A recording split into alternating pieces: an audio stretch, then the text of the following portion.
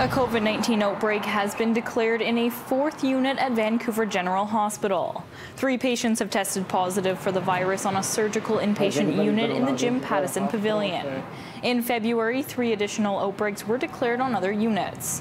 In total, 23 patients and 19 staff at the hospital have tested positive for COVID 19.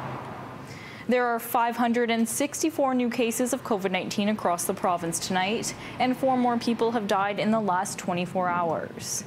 A key area of concern continues to be the Fraser Health region, where about half of the province's new cases are once again being reported.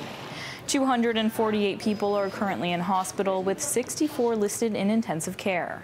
So far, nearly 5% of eligible British Columbians have had the vaccine, and that number is expected to start going up much higher as more vaccine doses are set to arrive in BC next week.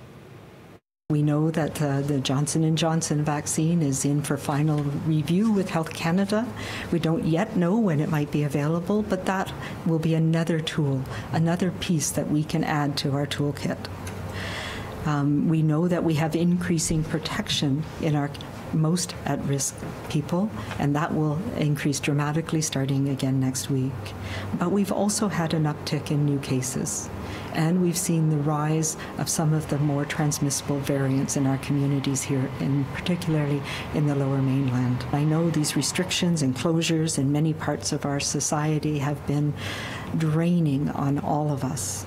And we all want to get back to our regular activities as soon as we can. More details on how and when to register for a vaccine will be available later this month.